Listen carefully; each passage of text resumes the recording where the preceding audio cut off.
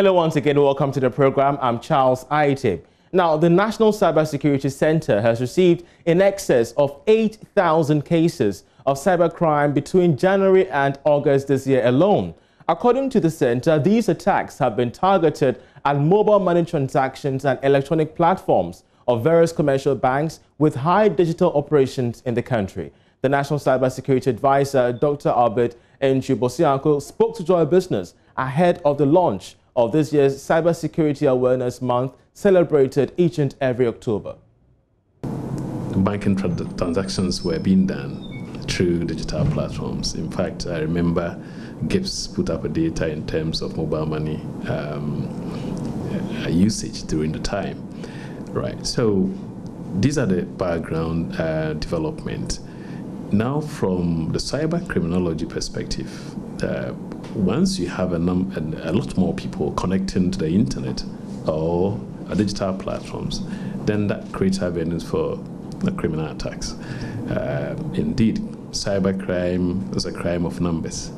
Um, if I'm able to develop a malicious program that is designed to intercept banking um, credentials, of course, that requires a huge you know, input in terms of the development. So I wouldn't just target one bank. Every existing bank will be a target. Every added customer on the e-banking platform will then therefore become a potential target. So it is, it is normal that we should see an increase with respect to cybercrime incident. Indeed, there is data uh, backing the increase with respect to cybercrime reporting. Last year, the Minister for Communication, Honorable Ursula, launched cybercrime, cyber cybersecurity incident reporting point of contact. And that has been very active from January to um, August this year. The center has received more than 8,000 cases, but we, record, we recorded a surge um, from March of this year when COVID 19 uh, got to us you know, so these are the development, and and uh, we need to create awareness using the cyber awareness man to ensure that uh, not only business but also individuals, of course, who are the customers of businesses are protected. Because once the individuals are protected, for example, in a banking environment, for example, if a banking customer is aware of the cyber risks, certainly it, it reduces the investment that the banks will need to put in place also to protect their network. It's, it's a collective engagement, really. Once we have a user exercising or practicing certain cyber hygienic practices, it, it favors the business in terms of how uh, they can um, operate their digital platforms in a very secure manner. Mm. So with that, what the center is doing is the awareness month and all that. How is this year's uh, program going to be like? What should we expect? Thank you. I think COVID-19 has changed the way of doing things, and of course, the center's activities, uh, as far as cyber is concerned, has also been impacted. Uh, for example, last year we had only physical engagement. This year we're doing a hybrid approach. Hybrid means we're having some sort of physical engagement, both in Accra and across the regions. But principally, we've also adopted a number of uh, virtual channels that will allow uh, many people to, to participate uh, businesses, um, government, the public, uh, even children. You know, so we have four thematic areas. Uh, the first week of the event will focus on child online protection. That will focus on some safety practices for uh, for children. Then the second week will focus on awareness creation for the public. And mobile money fraud is one of the thematic areas which we are engaging to, to disseminate the message because we believe that once um, we intensify awareness creation uh, efforts on mobile money transactions and related fraud, we are likely to prevent the fraud by 75% because of the modus operandi that you know uh, malicious actors in that space are using. So we, we really want to intensify that awareness creation effort. For businesses, it's good. Our concern is the protection of the critical information infrastructure, the banking platform, the energy infrastructure, the health infrastructure, the telecommunication infrastructure that actually is keeping us active once we have a lockdown. COVID 19, we need to review what potential impacts um, uh, on these critical systems uh, in relation to cyber crime and cybersecurity and, and, you know, take stock. And as a government, also engage with the private sector stakeholders to see how best we can scale up our effort in terms of protection in that space. Mm, what's the collaboration with the agencies, uh, i.e., the banks, the uh, government agencies, with the awareness month? Yes. I think essentially the National Cybersecurity Technical Working Group, which was uh, established by the Honorable Minister for Communication in 2017, uh, has become a mechanism by which cybersecurity is being discussed at the technical level.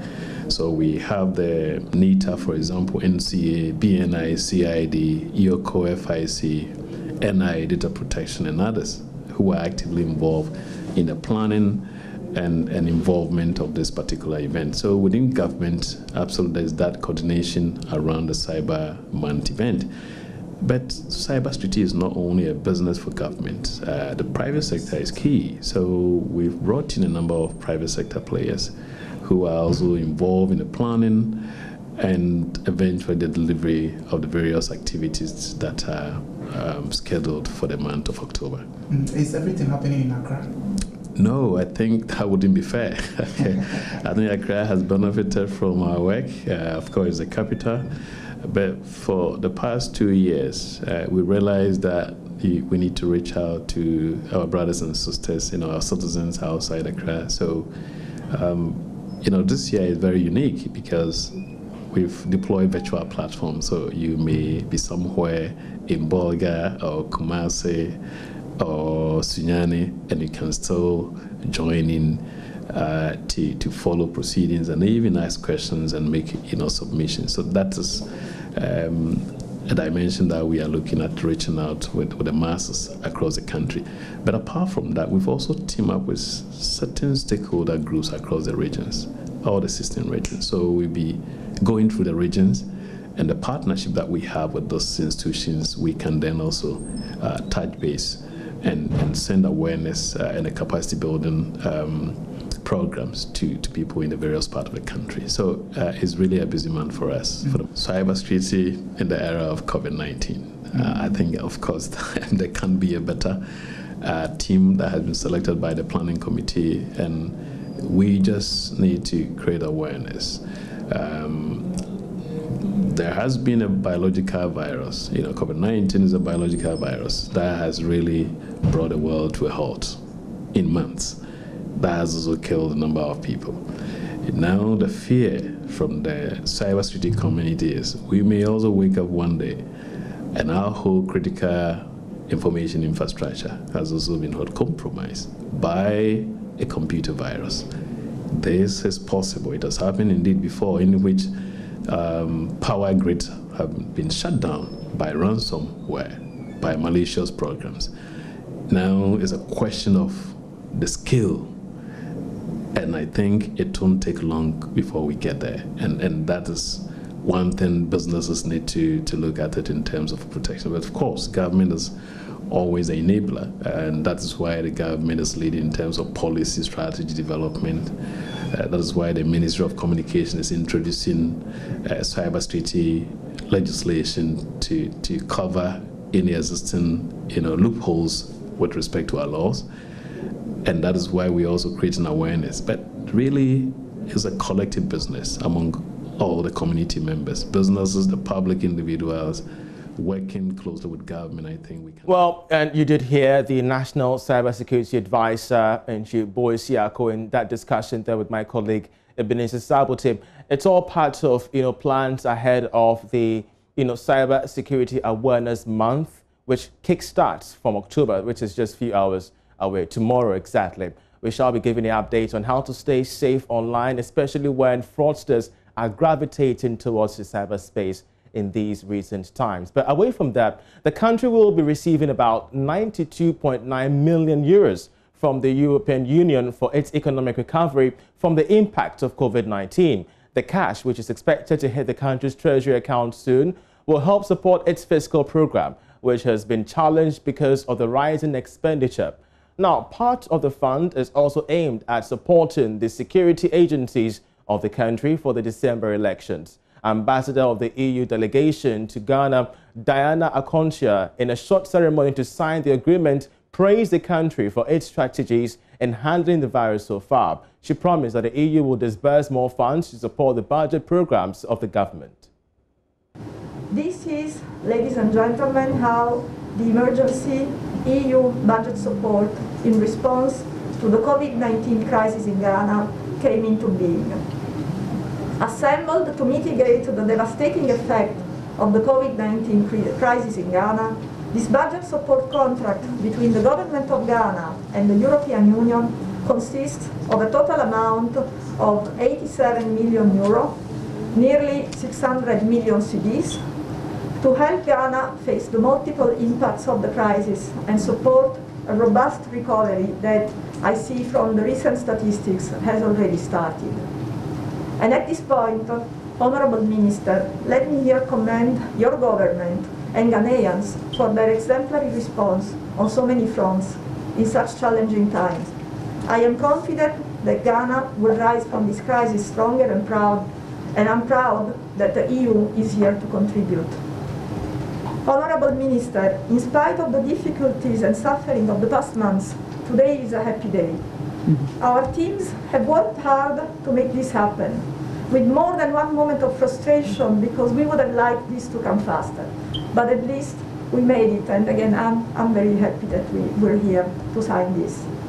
In a few days, the European Union will transfer the bulk of this sum as a direct, untargeted budget support to the National Treasury, Treasury of Ghana.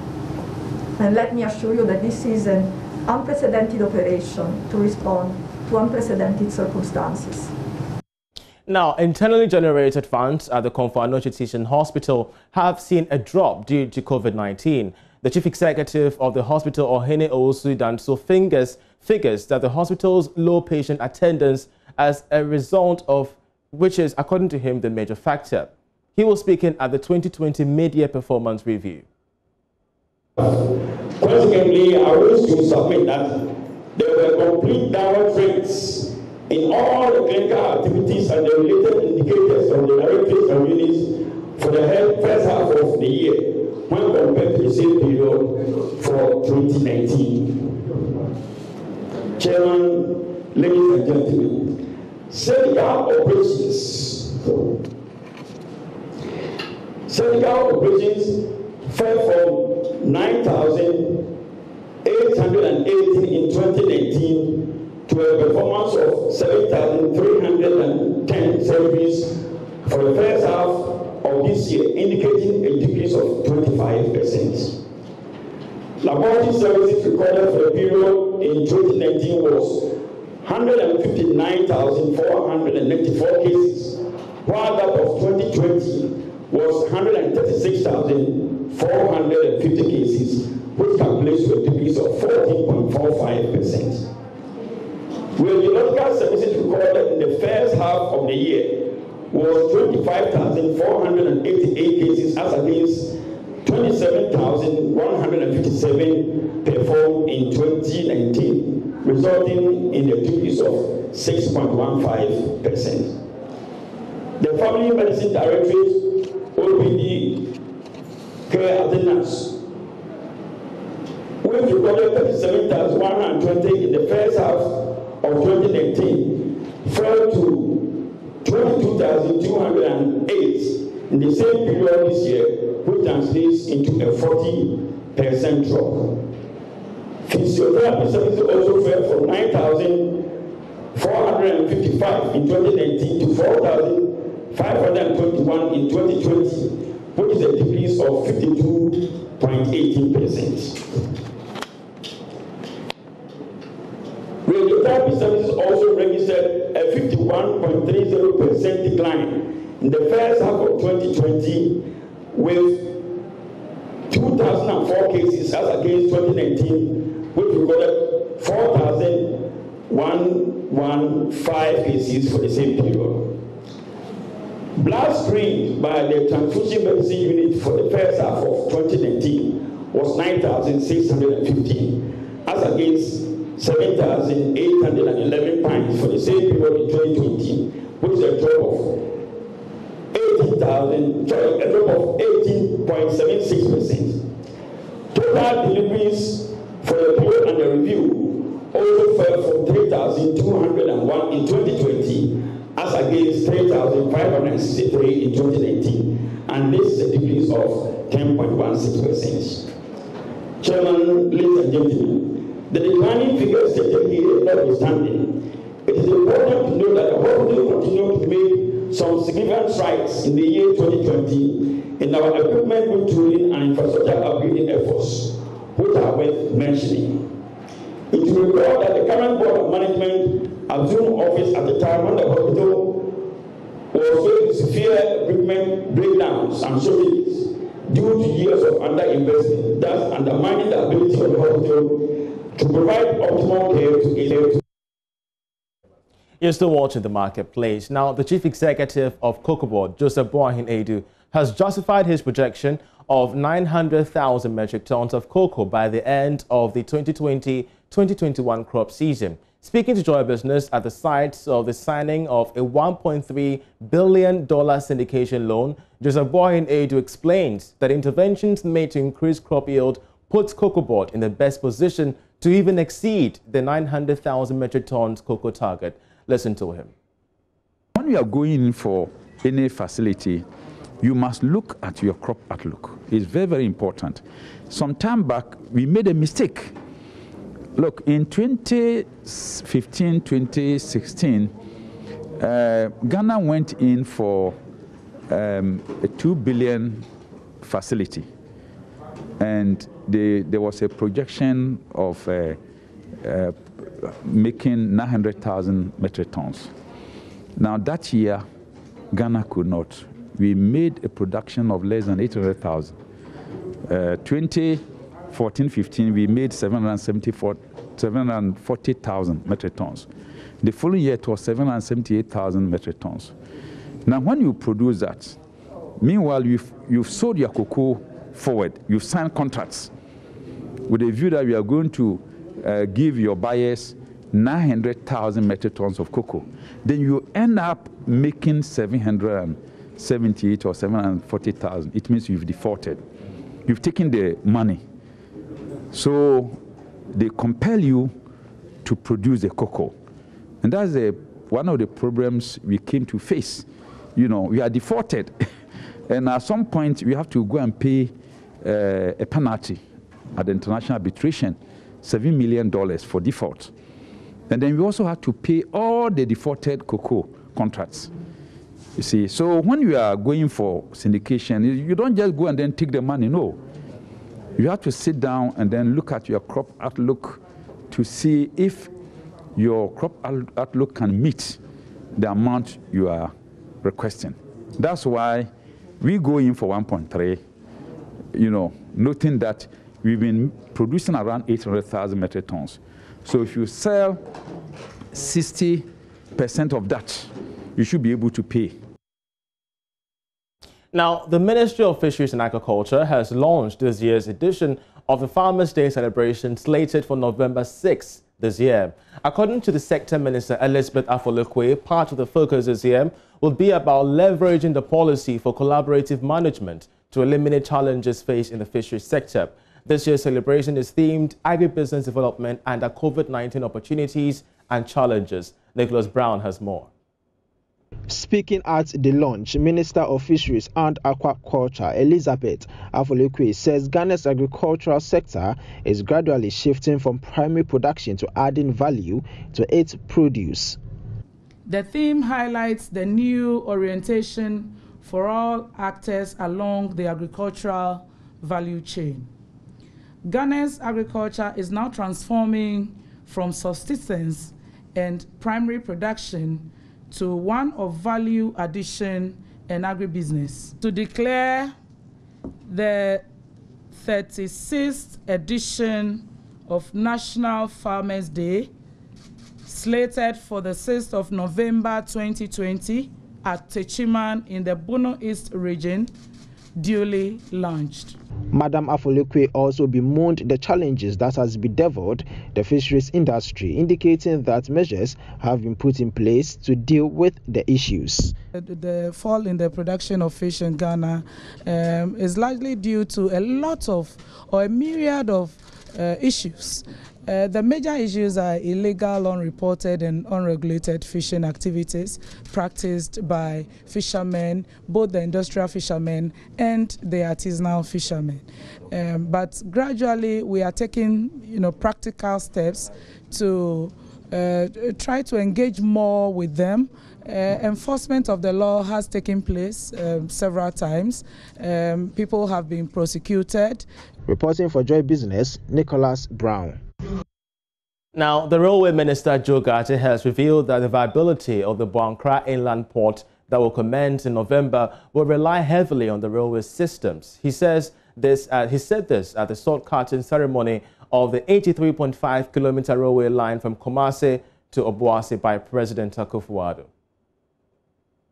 It's going to be the first phase of the uh, railway project, and it's going to connect Kumasi to Kaase it is a six kilometer railway line, and that is what the president is cutting short for the commencement here at Kaase, which is the start point. Um, it is it is a it is a project by the Ghana Railway Authority and the Ministry of Railway Development, and all the dignitaries are here to help. It is basically meant to ease transportation from Kumasi Kaase through to Obuasi when finally completed. It's also meant to um, enhance um, trade and commerce between and through these particular communities, uh, connecting a number of communities in this um, region and the neighboring regions. Um, it is, according to um, a lot of people and according to um, officials, it is very critical to the economy of the country because a railway is one of the cheapest, one of the fastest, which means that transit of transport of goods and persons from one point to the other in the region very soon is going to be easy and livelihoods will be affected. Uh, most definitely, um, the economy is going to grow, and local businesses are going to be, are going to thrive as a result. Well, the country is faced with about 12% youth unemployment, with more than 50% underemployment. That's a disclosure from a new World Bank report. Now, this is both higher than the overall unemployment rates in sub-Saharan Africa, despite major investment by both government and the private sector. The report said this challenge will intensify if job opportunities remain limited. To tackle youth unemployment, the report highlights the importance of having disaggregated data on youth job seekers by location, gender, skills and capabilities to inform policy and funding decisions. There was also the need to respond to appropriate and tailored employment programs, the report indicated. Well, that's how we end this edition of The Marketplace. I'm Charles Aite. Do stay on because Election Brief is up next.